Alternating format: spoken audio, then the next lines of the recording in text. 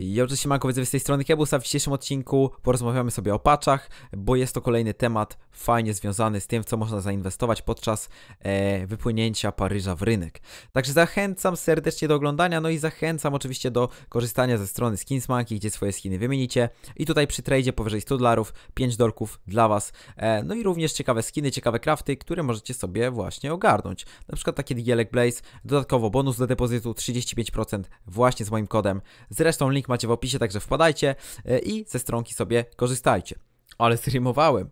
Mm, wiadomo o co chodzi. Dobra, przechodzimy sobie już do sedna odcinka. E, No i w dzisiejszym odcinku, tak jak mówiłem, będziemy mówić o paczach. E, widziałem, że na filmie Fijako mm, coś tam się wypowiadał żydowski inwestor o paczach. E, będąc szczerym, nie wiem, czy się powinienem do tego przyznawać, czy nie. E, no nie przesłuchałem całości, bo trochę mi się nie chciało. I to nie to, że ja, ja żywię jakąś urazę do żydowskiego inwestora, bo moim zdaniem yy, no mądrze prawi. Yy, ale po prostu wiecie, ja, ja jestem taki trochę roztrzepany, nie? Coś sobie tu odpalę, coś ten, yy, zacznę dwa tematy naraz, nie skończę jednego, no wiecie o co chodzi. Na przykład tak jak teraz, gadam zamiast gadać o paczach, nie? No ale przechodzimy do patchu ze, Szto- patchy ze Sztokholmu i tutaj następuje o tyle fajna sytuacja, że jeżeli, w Paryżu nie pojawią się patche, a raczej wszystko wskazuje na to, że się nie pojawią, e, to patche ze Sztokholmu staną się tak no może nie aż tak limitowane, ale rzadkie w pewnym, w pewnym sensie, e, więc na pewno ten supply e, będzie tutaj odgrywał kluczową rolę. E, no i pamiętajcie, że jakby tych rzeczy nie trzeba kupować tylko na Steamie, e, a z tego co widziałem, ceny patchy bardzo mocno się wahają na różnych, e, różnego rodzaju zewnętrznych stronkach, e, typu wiecie, Buff czy Bitskins, ewentualnie można po prostu kupić sobie na FB mm, na jakichś grupkach i tam też w fajnych cenkach można te patche pokupować, więc tutaj już tylko zostaje nam kwestia wyboru jakichś patchy. Jeżeli miałbym polecać jakiekolwiek patche, to przede wszystkim celowałbym w goldy, e, dlatego że jest ich po prostu mało.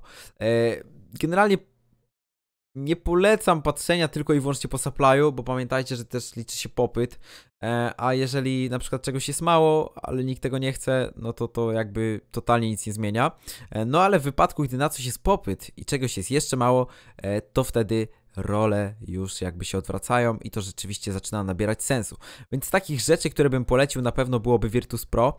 E, jeżeli chodzi o samych Virtus Pro, to rzeczywiście mieliśmy spore wzrosty ostatnio, ale tak jak mówię, częste, często są takie mm, wahania między cenami i można to łatwo wykorzystać właśnie kupując na jakichś zewnętrznych stronach e, czy też gdziekolwiek e, indziej.